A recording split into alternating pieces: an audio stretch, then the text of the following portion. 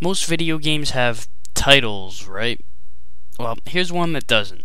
Not exactly, anyway. Name This Game, released by US Games in 1982. With a title like this, you'd figure the game is probably so bizarre in content that no title really fits, so they just said fuck it, name it yourself. But that's not really the case. You play as a scuba diver who just recovered buried treasure, but there's a shark that's pissed off about it for some reason. The manual actually says that the shark believes the treasure is his. So you have to keep the shark at bay, and at the same time fend off an octopus that's blocking your way back to the surface. They don't really explain what the octopus's beef is. The octopus's tentacles will extend toward the bottom. You have to shoot them down to keep them from touching the bottom of the screen. The tentacles are connected by blocky pixels that shift around. If you shoot the bottom block, the entire tentacle will retract and start its descent all over again.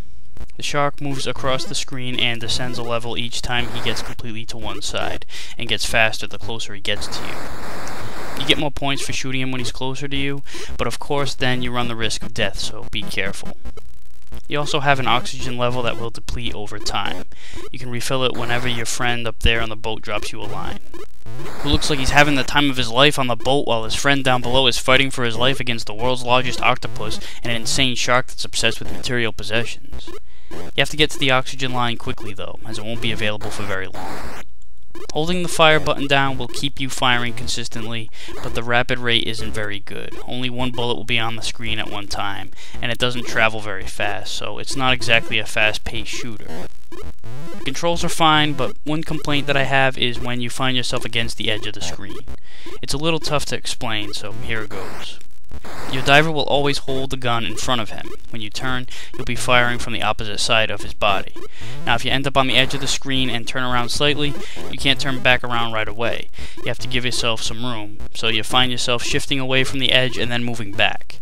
It doesn't sound like it happens all the time, but you may find yourself in the situation more times than you expect. Other than that, this isn't a bad game. There's just a lack of variety. There's a two-player alternating mode and three difficulty variations. But aside from the speed increasing as the game goes on, nothing really changes. This wouldn't be a huge issue though if the game were a bit more exciting. A few tweaks could have been made and this would be a pretty good shooter, but to its credit it's fairly decent. The game really should have been given an actual name though, Treasure Diver or Octopus or something. But guess what? There is a legitimate reason for this. US Games offered a $10,000 prize for whoever they felt could come up with the most creative name for the game. But they went bankrupt before the prize was ever decided, and so the game continues to have no real name. Much like Sword Quest, another unfulfilled gaming prize from the early 80s. Such a shame.